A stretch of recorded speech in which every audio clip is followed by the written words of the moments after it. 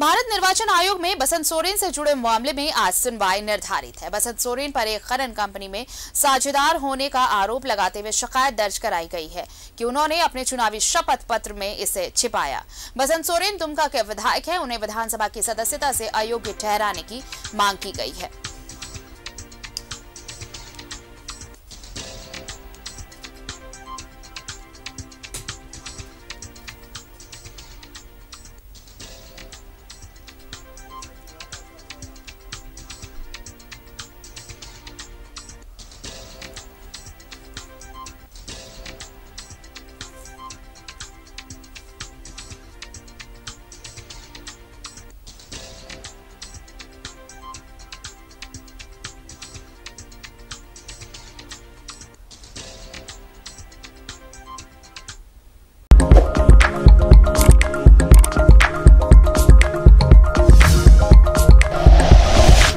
Like and share videos, subscribe करें हमारा channel और प्रेस करें बेल आइकॉन न्यूज़ 11 भारत सच है तो दिखेगा।